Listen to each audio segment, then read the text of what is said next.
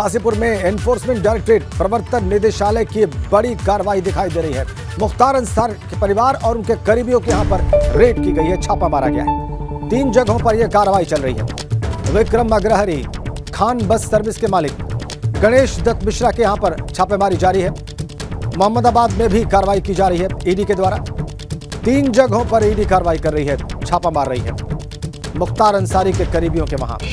विक्रम अग्रहरी इसके अलावा Khan bus service के मालिक गणेश दत्त मिश्रा के यहाँ छापेमारी। मोहम्मदाबाद में भी एक कार्रवाई चल रही है तो तीन जगहों पर एक साथ एक्शन, ईडी का। और ये तीनों ही जगहें उन लोगों की हैं जो मुख्तार अंसारी के करीबी हैं। ईडी के एक्शन की तस्वीरें भी हम आपको दिखा रहे हैं। ईडी के पहुँचने के बाद सुरक्षा व्यवस्था आप देख लीजिए। मुख्तार परिवार पर कार्रवाई जारी, करीबियों पर ईडी का एक्शन मुख्तार के। मिश्रा बाज़ार, टाउन हॉल, रौजा और मोहम्मदाबाद में छापेमारी। मकान को सीआरपीएफ की टीम ने कब्जे में ले लिया। मकानों को खंगाल रही है ईडी की टीम। ये ताज़ा अपडेट इस वक्त हमारे पास है।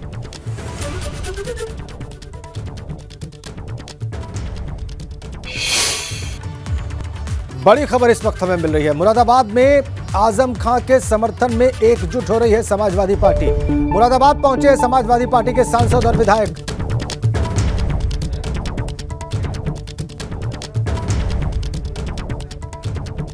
सांसद एस टी हसन, विधायक कमाल अख्तर भी वहाँ पर पहुँचे हैं और विधायक फहीम, विधायक नवाब जान और विधायक रामपाल सब पहुँचे हुए हैं। अब्दुल्ला आज़म के नेतृत्व में कई विधायक डीआईजी से मिलने पहुँचे हैं। बड़ी खबर, आज़म खान के समर्थन में एकजुट समाजवादी पार्टी, एकजुट हो रही समाजवादी पार्टी की टीम यहाँ पर, देखिए आप, ये तस्वीरें। अब्दुल्ला आज़म समाजवादी पार्टी के विधायक हैं, पुत्र हैं वो। इसके अलावा सांसद एस टी हसन, विधायक कमाल अख्तर, ये सभी पहुँचे हैं। विधायक फहीम, विधायक नवाब जान पहुँचे हुए हैं। मुरादाबाद।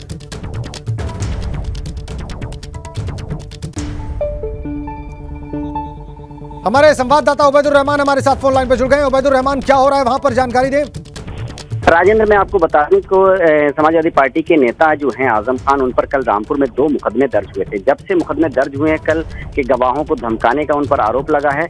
उसके बाद से पूरी समाजवादी पार्टी इस बार लगता है कि अलर्ट मोड पर आ गई है। मुरादाबाद मंडल के जितने भी समाजवादी पार्टी के विधायक हैं, चाहे वो नवाब जान खान हों या फ़हीम हों या समरपाल हों या फिर नासिर कुरैसी हों या कमाल अख्तर हों या सांसद खुद एस टी हसन, वो तमाम विधायक और सांसद जो हैं, इकट्ठा होकर के एक प्रतिनिधित्व मंडल की शक्ल में इस वक्त जो है बातचीत कर रहे हैं मुरादाबाद रेंज के जो डीआईजी हैं, शलम माथुर। और इन लोगों की कहना यह है कि क्योंकि आज़म खान बीमार चल रहे हैं और ऐसे में जो मुकदमे दर्ज किए गए हैं, वो गलत हैं। एक बीमार आदमी इस तरह से गवाहों को नहीं धमका सकता और जिस तरह से उन पर एटी में नाइन मुकदमे पहले से थे और कल की तारीख में जो दो मुकदमे दर्ज हुए हैं, इसको लेकर के समाजवादी पार्टी पूरी तरीके से उत्तर प्रदेश में आंदोलन के मूड में है। तमाम विधायकों से हमारी बात हुई है, उनका कहना है कि आज एक विधायक पर मुकदमे दर्ज हुए हैं, कल दूसरे विधायक पर हो सकते हैं तो इसलिए समाजवादी पार्टी इस बार चुप बैठने के मूड में नहीं है। और एक तरह की जो लामबंदी है वो समाजवादी में शुरू हो गई है। कमाल अख्तर का आना साथ में नासिर कुरैसी का एस पी हसन का जो अब्दुल्ला आज़म है, आज़म खान के बेटे हैं और सुहार से विधायक हैं। उसके साथ ही नसीर खान, जो आज़म खान के दोस्त हैं और रामपुर से विधायक हैं। तो ये तमाम विधायक जो हैं, मुरादाबाद मंडल जो है, समाजवादी पार्टी का गढ़ माना जाता है और इस तमाम विधायकों को मंडल के इकट्ठा होना, नासिर कुरैसी का समरपाल का और एक साथ आकर एक ताकत दिखाना अपना जो है, वो प्रतीत होता है और समाजवादी पार्टी के हाईकमान से लेकर के और रामपुर तक आज़म खान के समर्थन में जो नेता हैं वो लामबंद हो रहे हैं जो हमारे सूत्र हैं वो ये बता रहे हैं कि समाजवादी पार्टी के जो विधायक हैं उनको ये आदेश दिया गया है कि वो अपने अपने इलाकों में मीटिंग करें और इस चीज़ का विरोध करें कि जो मुकदमे आज़म खान पर दो दर्ज हुए हैं वो गलत हुए हैं और उसको वापस लिया जाए। यही मांग वो कर रहे हैं इस वक्त और इस वक्त जो तमाम समाजवादी पार्टी के सांसद हैं विधायक हैं अब्दुल्ला आज़म हैं तमाम लोग जो हैं वो जो डीआईटी रेंज है मुरादाबाद के शलम माथुर उनके साथ इस टाइम उनकी बातचीत चल रही है और उनकी यही मांग है कि जो मुकदमे हैं वो वापस लिए जाए। तो कहीं ना कहीं एक बार जो समाजवादी पार्टी है वो आज़म खान के समर्थन में खड़ी हुई दिखाई दे रही है। जी। बहुत शुक्रिया आपका अबैदुर रहमान इन जानकारियों के लिए और इन तस्वीरों के लिए। डीआईजी रेंज शलभ माथुर से बात करते हुए समाजवादी पार्टी के सांसद विधायक और नेता। इधर बाराबंकी में बिजली विभाग के कर्मचारियों से लोगों ने अभद्रता की है। बिजली चोरी पकड़ने गई थी बिजली विभाग की टीम और लोगों ने कर्मचारियों के साथ धक्का मुक्की और गाली गलौज की है।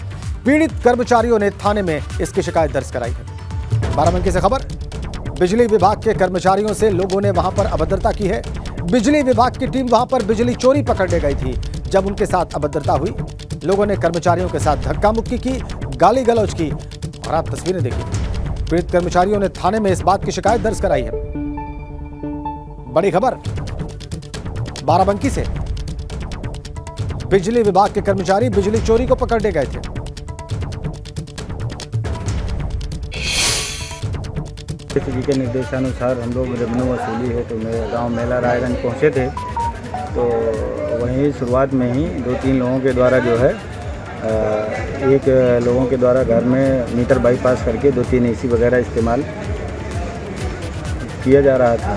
साथ में हमारी विजिलेंस टीम भी साथ में थी इंस्पेक्टर साहब भी साथ में थे। तो उन्हीं के द्वारा जब ये गए चेक करने तो बिना मतलब जो है, सवाल किया गया। हमारे संवाददाता सतीश कश्यप इस वक्त हमारे साथ फ़ोन लाइन पे जुड़ गए सतीश, ये कब का वाक्य है? कितनी संख्या में बिजली विभाग के कर्मचारी थे और जिन लोगों ने उनके साथ अभद्रता की, उनकी संख्या कितनी थी? देखिए, ये जो मामला है, ये बदोसराय कोतवाली क्षेत्र का पड़ता है, मेला रायगंज। वहीं पर ये जो है सुबह सुबह की घटना है, जहाँ पर जो है, आज बिजली विभाग की जब टीम चेकिंग करने गई थी, उस दौरान जो है, वहाँ के जो ग्रामीण से जो लोग जो है बिजली चोरी कर रहे थे, उन लोगों ने जो है, उन पे हमला कर दिया और जो है, उनसे अभद्रता की मारपीट हाथा पाई का भी जो है नंबर आ गया। जैसा कि अधिकारियों ने मुझे बताया है और जो है अब इस समय जो है, कोतवाली बदोसराय में जो है, बिजली विभाग के कई अधिकारी वहाँ मौके पे हैं। जो आरोपी हैं, उन लोगों के खिलाफ एफआईआर दर्ज करवाने की तहरीर दिया है।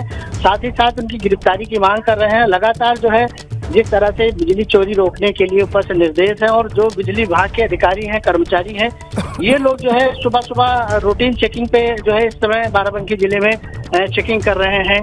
क्योंकि जो है चोरी रोकने के लिए ऊपर से निर्देश भी इन लोगों को है।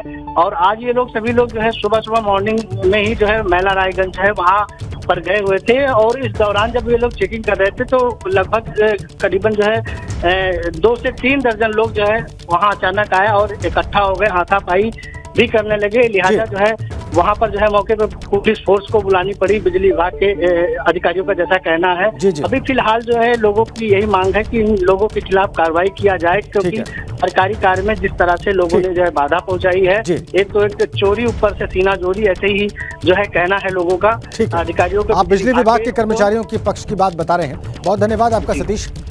तो कर्मचारी ये कह रहे हैं कि एक तो चोरी ऊपर से सीना जोरी बिजली की चोरी कर रहे हैं लोग, और जब हमने पकड़ा और बताया तो फिर वो हमारे साथ अभद्रता कर रहे हैं। ये शिकायत इधर लखीमपुर में किसानों का धरना प्रदर्शन शुरू हो गया है। आज से 21 अगस्त तक किसान वहाँ पर धरना देंगे, और इस प्रदर्शन में किसान नेता राकेश टिकैत, दर्शन पाल, जोगेंद्र उगाहा, योगेंद्र यादव जैसे बड़े चेहरे भी शामिल होंगे। पाँच मांगों को लेकर किसान लखीमपुर में प्रदर्शन कर रहे हैं। किसानों का धरना प्रदर्शन शुरू। ये देखिए आप। पचहत्तर घंटों का धरना प्रदर्शन किसानों का। बड़े किसान नेता इस प्रदर्शन में शामिल।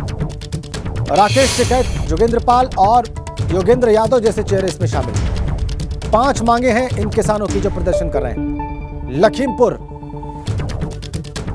खीरी में किसानों का धरना शुरू हो चुका है। सीधा आपको लिए चलते हैं लखीमपुर। विवेक त्रिपाठी हमारे संवाददाता इस वक्त वहाँ से हमारे साथ सीधा कनेक्ट हैं। और वो हमें तस्वीरें भी दिखाने वाले हैं धरना प्रदर्शन की, और बताने वाले हैं कि ये अभी तक कैसा रहा और आगे कैसा रह सकता है, किसान नेता कह क्या रहे हैं। विवेक? बिल्कुल राजेंद्र, देखिए ठीक गल्ला मंडी के गेट पर हूँ, जहाँ पर आप ये सामने देख रहे हैं, पुलिस फोर्स।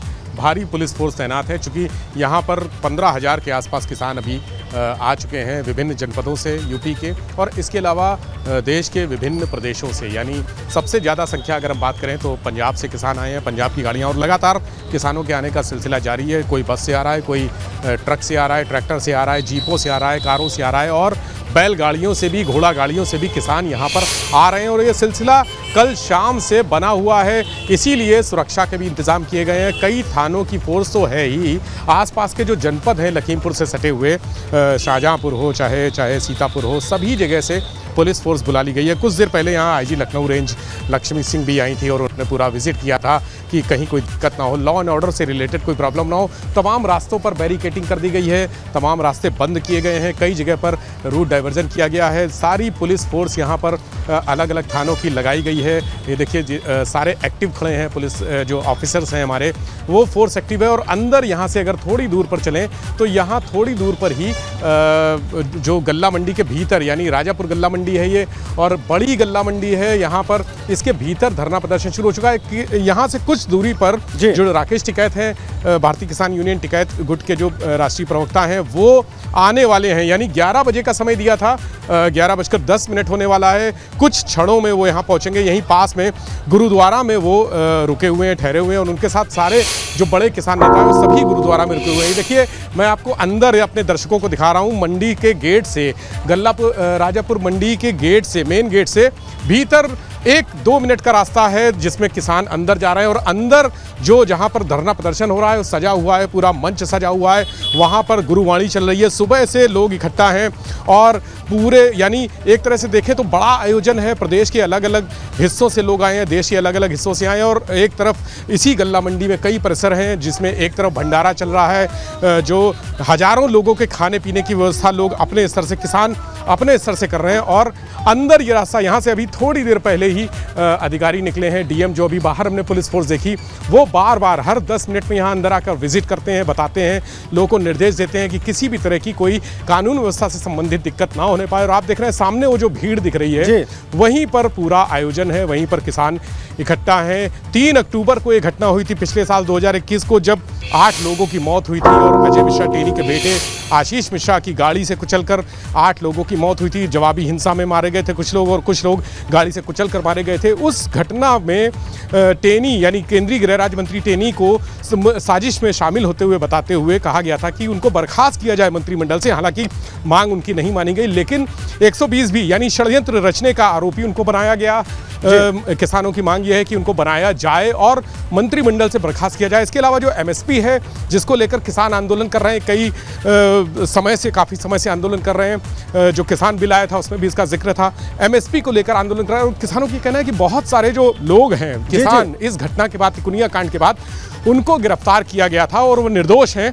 उनको जेल से तुरंत तत्काल रिहा किया जाए बाहर किया जाए। इसके अलावा अन्य मांगे की हैं जो बिजली से संबंधित हैं किसानों की मांगे पानी से संबंधित है। आप देख रहे हैं अलग अलग जो चबूतरे बने हैं वहाँ किसान बैठे हुए हैं और खाना पकाने में व्यवस्था है। पूरे कई सैकड़ों परिवार जो है सैकड़ों लोग किसान परिवार के साथ आए हैं। यानी परिवार लेकर आए हैं महिलाएँ बच्चे हैं और सब खाना पकाने में व्यस्त हैं। जो चूँकि दोपहर का भोजन होना है सुबह का नाश्ता भी हुआ है।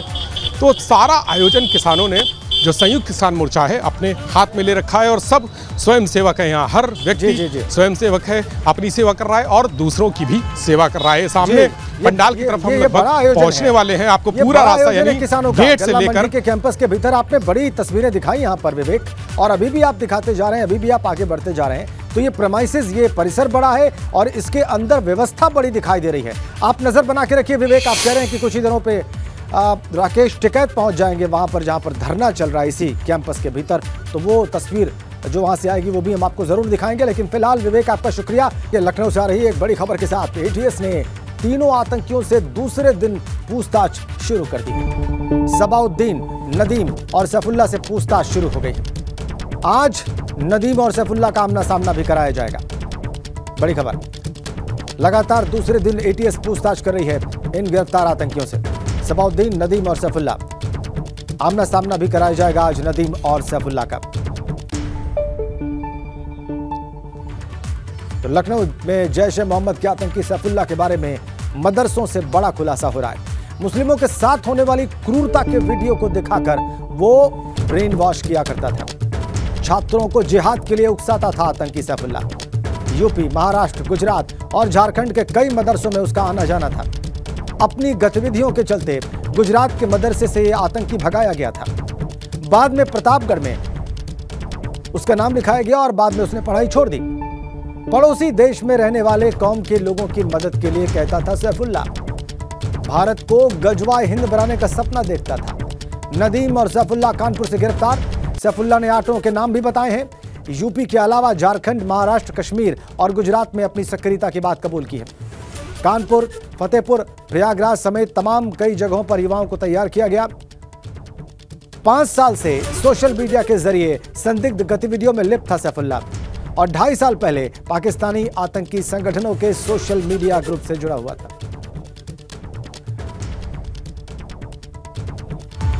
अगली बड़ी खबर लखनऊ से है। तिरंगा यात्रा में हुए बवाल के मामले से जुड़ी है।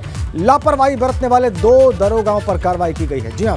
किला चौकी इंचार्ज रंजीत पाठक लाइन हाजिर कर दिए गए। बंगला बाज़ार चौकी इंचार्ज ऋषिकेश राय भी लाइन हाजिर कर दिए गए। और इस बवाल के मामले में अब तक चार लोग गिरफ़्तार किए गए। किला चौकी इंचार्ज रंजीत पाठक लाइन हाजिर, ऋषिकेश राय लाइन हाजिर। बंगला बाज़ार चौकी के इंचार्ज।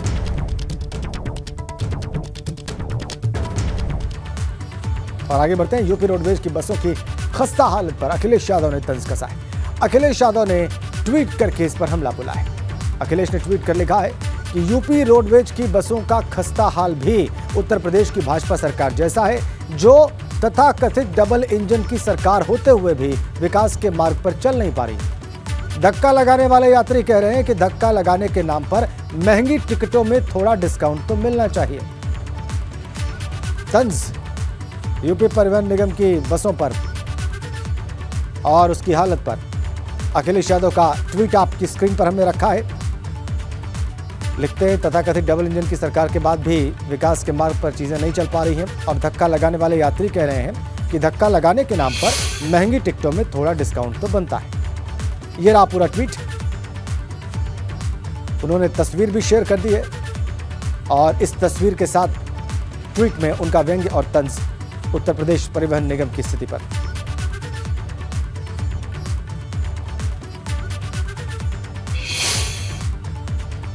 इधर आगरा के एक भाजपा नेता पर पुलिस कर्मियों से अभद्रता का वीडियो वायरल हो रहा है। आरोपी नेता का नाम मनीष साहू है और वीडियो में दिख रहा है कि उसने न सिर्फ़ बदसलूकी की बल्कि पुलिस वालों को गालियाँ भी दी।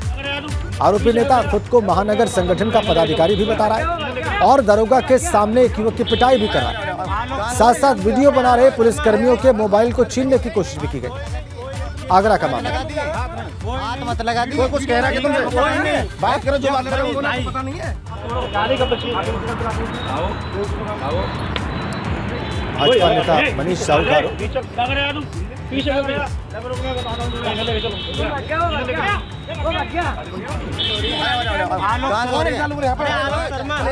हाथ मत लगा। अगली बड़ी खबर, ललितपुर से है, बाल काटने के पैसे मांगने पर पिटाई करने की खबर आ रही है। दबंगों ने नाई की लाठी डंडों से पिटाई कर दी है और बीच बचाव करने आई बहन के साथ भी अभद्रता की गई सोशल मीडिया पर इसका वीडियो वायरल हो रहा है। जखौरा थाने के बांसी का मामला है। दबंगों ने नाई को लाठी डंडों से पीटा और उसका कसूर सिर्फ़ इतना था कि उसने बाल काटने के पैसे मांग लिए थे। वो काम जो उसने किया था, उसका मेहनताना मांग लिया था और उसके बाद दबंगों ने खूब पीटा इस नाई को, जैसा कि आप देख पा रहे हैं।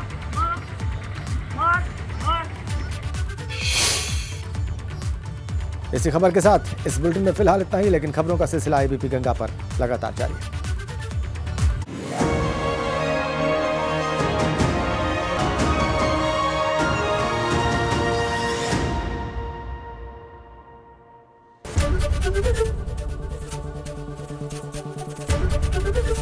एबीपी गंगा। खबर आपकी जुबा आपकी।